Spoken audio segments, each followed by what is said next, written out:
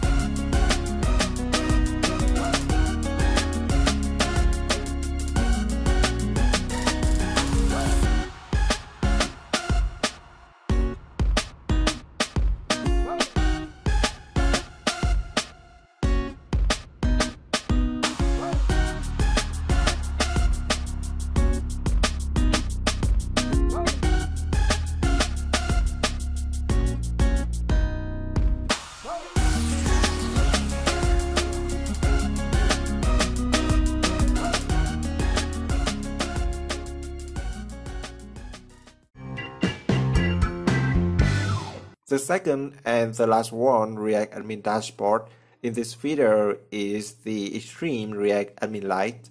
As the previous templates, this one is built with React and goes for free. However, has the Pro version for commercial use. The free version doesn't allow you support. Nonetheless, it has enough attract features which makes this template good for personal use. Among them are few ready-to-use widgets, 100 font icons, base CSS, one option for charts, also provides you 7-page templates, 10 UI elements, and it also will update for a lifetime.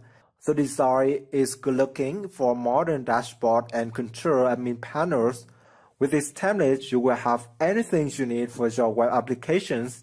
The best option is that you can begin to create your app with the free lite version of this template and then continue upgrading to the pro version, which allows you more opportunities, among which are four dashboard and seven demo variation, six variant design for application, and more than 160 page templates, 65 UI components, and 50 plugins. So choosing this template will make your product look great and amaze all the customer with its design and all the features.